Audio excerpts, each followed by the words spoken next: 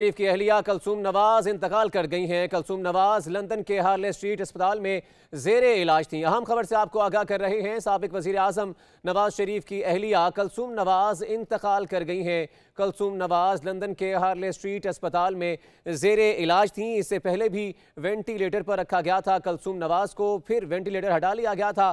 لیکن اب دوبارہ خبر آئی کہ ان کو وینٹیلیٹر پر رکھا جا رہا ہے۔ اور اب خبر آئی ہے کہ سابق وزیر اعظم نواز شریف کی اہلیہ کلثوم نواز انتقال کر گئی ہیں۔ کلثوم نواز لندن کے ہارلے اسٹریٹ اسپتال میں زیر علاج تھیں۔ شہباز شریف نے تصدیق بھی کر دی ہے۔